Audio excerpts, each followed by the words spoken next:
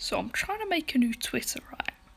And some idiot, some foolish idiot has stolen my username. They're probably pretending to be me as well, you know, like, uh... I, I, I, I, ew.